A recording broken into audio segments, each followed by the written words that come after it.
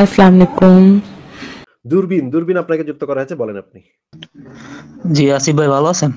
হ্যাঁ ভালো আছি আশা করি আপনি ভালো বলেন। ভাই আমি একজন মুসলিম আর কি। আচ্ছা। তো আগে ভাই অনেক মানে ইসলাম ইসলাম ধর্ম সম্বন্ধে অনেক কিছু শুনতাম আর কি। তো মানে বিশ্বাসী মুসলিম আর কি তখন ছিলাম একদম কোনো কিছু ইয়া নাই। তো আমি আপনার ভিডিও প্রায় অনেক দিন যাবত ধরে দেখি। তো মানে আপনার ভিডিও দেখার আগে এত কিছু জানতাম না, ইসলামের মানে পূর্ণ সত্যতা মানে রিয়েল ইতিহাসগুলো আর কি, এগুলা তো কিছু জানতাম না। তবে মানে আপনার ভিডিও দেখার পরে মানে ইয়া, পূর্ণ সত্যতাটা আসলে ইসলামের মানে সম্পূর্ণ ইতিহাসটা জানার পরে আসলে আমার ধারণা একটু মানে অন্যরকম হয়েছে দেখলাম যে না, আপনি যে কথাবার্তা বলেন, এগুলো আসলে যুক্তিযুক্ত। এগুলো আচ্ছা। দূরবীন সাহেব, আপনি কি শুধুমাত্র আমার কথা শুনছেন নাকি এগুলো মিলায়ও দেখছেন যে আমি আসলে যেগুলো বলতেছি সেগুলা তো মিলায় দেখাটা তো উচিত, তাই না? আপনি কি মিলায় দেখছিলেন? না ভাই মিলে ভাই অবশ্যই, আপনার কথা তো অবশ্যই যাচাই করে, তারপর বিশ্বাস করি। তো দেখলাম যে না, আসলে আপনি যে কথাবার্তা বলেন, ওগুলো আসলে মানে সত্য, সম্পূর্ণ একমত মানে বাস্তবতা নির্ভর কথা বলেন আপনি। দেখলাম। তো ভিডিও দেখার পর এই ধারণা চেঞ্জ হলো আর কি কিছুটা। মানে আগে তো ভাই আমি অনেক ওয়াজ মাহফিলে যাইতাম। না, আমি ছোটবেলা থেকে ভাই ওয়াজ মাহফিলের খুব ভক্ত ছিলাম এক সময় মানে বড় বড় স্কলার মৌলানারা আসতো। তাদেরকে চিন্তা মানে এখনও চিনি। বা আমাদের দেশের যত স্বনামধন্য বক্তা আছে, তাদেরকে চিনি। তাদের আলোচনা শুনতাম, তারপর ওয়াজ মাহফিলে যাইতাম। তবে যাওয়ার, যাইতাম ঠিকই, কিন্তু আসলে ভাই মানে ইসলামের সত্য ইতিহাসগুলা এত কিছু জানতাম না। তারা আসলে যদি প্রশ্ন কর- হতো তাদেরকে, তারা বিষয়গুলা এড়িয়ে যেত। মানে এরকম আর কি একটা পরিস্থিতি ছিল। কিছু কিছু বিষয় খটকা মানে ফার্স্ট টাইম যখন আপনি ভিডিও দেখতাম, আপনার কিছু কিছু বিষয় মানে হাদিসের কিছু অংশগুলো দেখতাম, তো দেখা ভাবতাম যে কি আসলে এরকম কি সত্য? দেখা যাচ্ছেন যে হ্যাঁ দেখা যাচ্ছে মানে হাদিস তো আপনি হাদিসের নাম বইলে আপনি উল্লেখ করেন বিষয়টা সবসময়। তো দেখতাম যে না, হাদিসটা সহি আছে হাদিসে। এগুলা নিয়ে আসলে আলোচনা করতেন তারপর এ- এরকম মানে একটা উৎসাহ জাগলো যে না, দেখি ভাই ভিডিও গুলো দেখি। তারপর দেখতাম আপনার সংশয় ডট কমে তো ভাই সবই আছে। মানে আমি যে কোনো কিছু একটা ইসলাম ইসলামের যে কোনো একটা রেফারেন্স যদি আমি বের করতে যাই, আমি সর্বপ্রথম আপনার সংশয় ডট কমে গিয়া চেক দিয়ে দেখে আসি। কারণ ওইখানে গিয়ে আমি অনেক কিছু পাই আর কি। সত্যটা জানতে পারি আর কি। আচ্ছা ঠিক আছে। কিন্তু এক পক্ষের কথা শুনলেই তো ভাই আর হবে না। দুই পক্ষের কথাই তো শুনতে হবে। আমরা চাই যেন আপনারা মানে দুই পক্ষের কথাই শুনবেন। মুমিনরাও কি বলে সেটাও আপনাদের জানা দরকার এবং আমরা কি বলি সেটাও আপনাদের জানা দরকার। এরপরে আপনারা যুক্তি দিয়ে চিন্তা ভাবনা করে দেখতে হবে যে কোন কথাগুলো যৌক্তিক হচ্ছে আর কোন কথাগুলো অযৌক্তিক হচ্ছে। তাহলে আপনি এইভাবে চিন্তা করে দেখেন যে মুমিনদের আর্গুমেন্টটাও শুনবেন মুমিনদের যুক্তিটাও শুনবেন আমাদের ইয়াটাও শুনবেন। তারপরে আপনি ভালোভাবে চিন্তা ভাবনা করবেন। ঠিক আছে দূরবীন ভাই আপনার সাথে কথা বলে ভালো লাগল। আমরা দেখি কোনো মুমিন ভাইকে পাই কিনা। তাহলে আলোচনাটা জম্পেশ হবে ঠিক জি আছে? ভাই ভাই একটা ভাই একটা প্রশ্ন ছিল ভাই আমার। আচ্ছা বলেন। আচ্ছা ভাই, আমাদের মানে মানে মসজিদুল আকসা যে বিষয়টা ভাই, এটা তো আমাদের মুসলমানদের জন্য একটা পবিত্র জায়গা তাই না?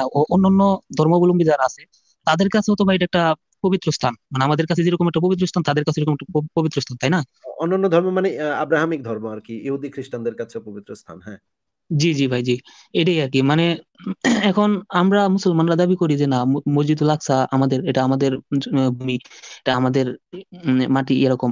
তারপর আবার ইহুদি ধর্মের ওরা অনুসারী যারা তারাও বলতেছে না এই ভূমি আমাদের এটা আমাদের পবিত্র স্থান। তারপর আবার খ্রিস্টান ধর্মের যারা অনুসারী যারা তারাও এরকম বলতেছে। আসলে ভাই আপনার ধারণা মতে আহ, কোন ধর্মাবলম্বীদের মানে এটার আসল দাবিদার আর কি? এটা ধর্মের লোকই আসল দাবিদার না। ওদের ধর্মে লেখা থাকলে কি হলো নাকি? এটার দাবিদার হচ্ছে মানুষ, সব মানুষ।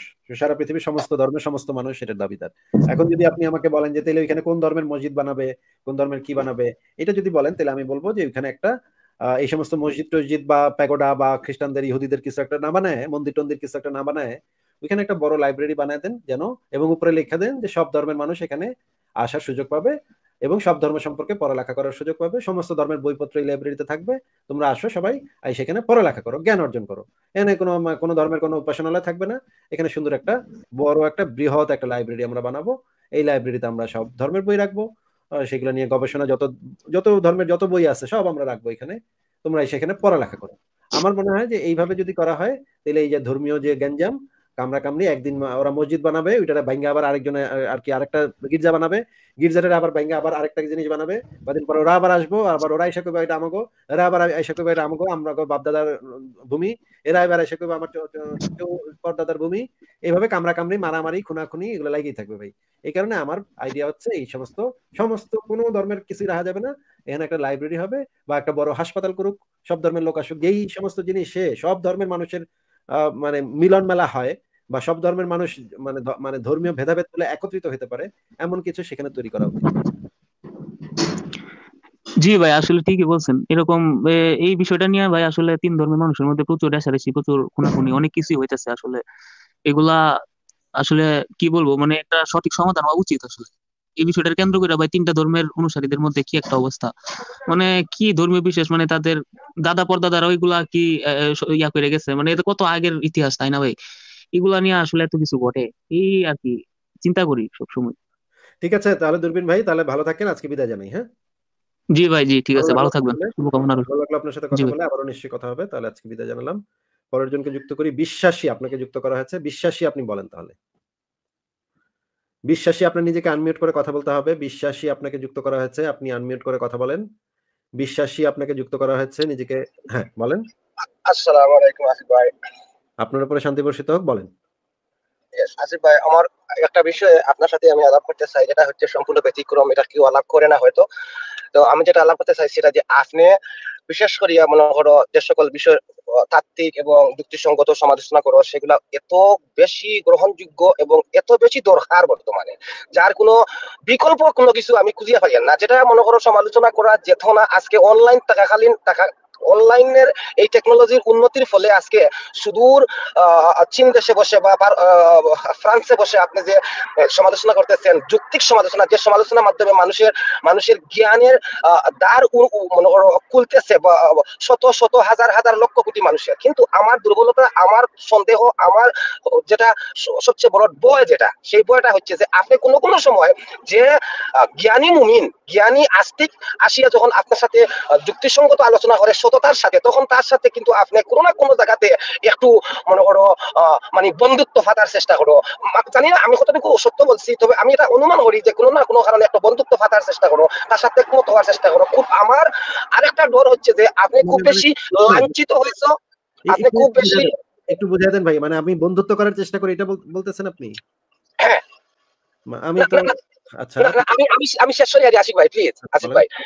যেটা বলতে ওই যে যে ইসলামিক যে স্কলার যে পন্ডিত মুশরিক মিনার ভাই ওদের সাথে আলাপ করতে গেলে আপনি যে খুব বদ্ধতার সাথে আলাপ করো এটা খুব সুন্দর খুব ভালো কিন্তু আমার ভয় লাগে আপনি কিন্তু কোনো না কোনো এক সময়তে যদি আপনার এই পথ থেকে আপনি যদি একটু বিচ্যুত হও তাহলে একটা জগৎ অন্ধ অন্ধ হয়ে যাবে অন্ধকার হয়ে যাবে। সুতরাং আপনার মতো মানুষ এই জায়গাতে তাকিয়া এই ধরনের সমালোচনা করার জন্য আমি এটা একেবারে মনের আক্রান্ত আমি আশা করি। এই জায়গাতে দেখাটা খুব দরকার আছে খুব দরকার আছে বলে মনে করি।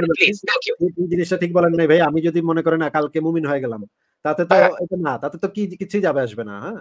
কারণ আমি যে যুক্তিগুলো দিচ্ছি যে যুক্তিগুলো আমি বলছি সেগুলো তো আমি খণ্ডন করতে পারব না তাই না? যে দলিলগুলো সেগুলো তো আর কেউ খণ্ডন করতে পারবে না।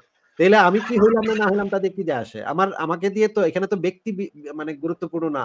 গুরুত্বপূর্ণ হচ্ছে যে যুক্তিগুলা বা যে দলিল প্রমাণগুলা সেগুলো হচ্ছে ইম্পর্টেন্ট এটা আশিফ দিলেও কিছু যায় আসে না কলিমুদ্দিন দিলেও কিছু যায় আসে না হ্যাঁ? এখানে ব্যক্তি কখনো ইম্পর্টেন্ট না। এই জিনিসটা আমরা সবসময় বলি যে ব্যক্তি কখনো ইম্পর্টেন্ট না। ইম্পর্টেন্টটা হচ্ছে তা সে কি যুক্তিটা দিতেছে সেই যুক্তিটাই হচ্ছে ইম্পর্টেন্ট এই কারণে আমি কালকে যদি মনে করেন হজ করতে চলে গেছি তাহলে কি নাস্তিকতা ইয়া হয়ে যাবে? না মানে ইসলাম সত্য প্রমাণ হয়ে যাবে? না কিছুই হবে না ভাই। এগুলা আপনার যে অভিজ্ঞতার আলোকে যে সকল রেফারেন্স দিয়ে মানে ইয়ে করো আর কি, উপস্থাপন করো, এটা আসলে একেবারে বিশেষ করে বাঙালি বাঙালি মনে করো ইসলামী জগৎ যেটা বাংলা ভাষাভাষী মানুষ, ওরা কিন্তু মনে করো আপনার দিকে তাকিয়ে আছে কত বড় ক্ষতির কারণ হয়ে আমাদের আসলে তাদের ক্ষতির কারণ না, তাদের পরম বন্ধু আপনি, সেটা কিন্তু তারা বুঝতেছে না। কারণ সময়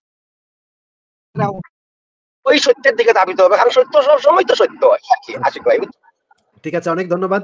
বিশ্বাসী ভাই আপনাকে যুক্ত হওয়ার জন্য, কিন্তু আপনার কথায় অনেক মানে আটকে যাচ্ছে, এই কারণে আপনার সাথে আর বেশিক্ষণ আমি কথা বলতে চাচ্ছি না।